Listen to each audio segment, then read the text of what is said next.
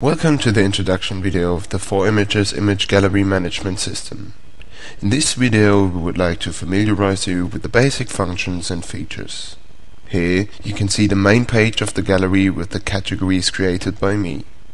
In addition you are able to upload not only pictures but every file type you want such as PDF or MP3. After clicking on the category Pictures I see all contained pictures and subcategories. In this case, the subcategory's name is My Old Car.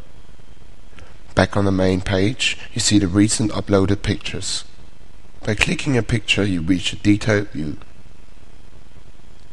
Here, you can see the title, picture description and various statistics.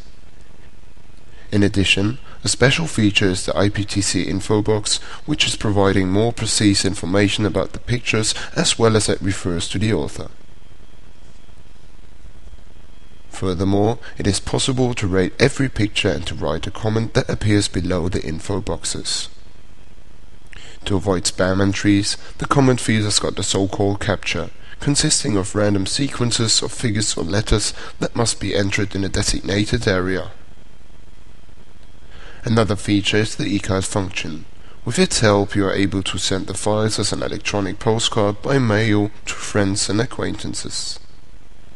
In this connection you can choose from several color modes and font options.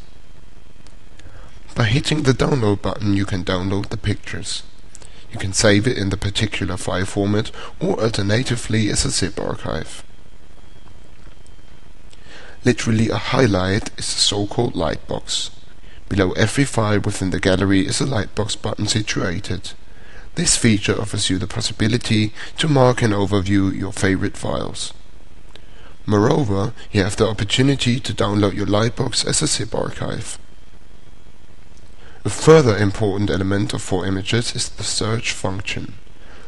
Located in the right top corner, you just have to enter the search term, in this case car, and you instantly see all files containing the word car. With the advanced search feature, you are able to specify your search, which allows you to search for usernames or within categories. To stay informed 4Images of a RSS newsfeed you can subscribe for with every RSS reader.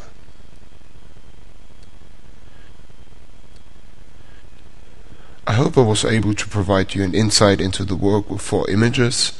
Many thanks and goodbye.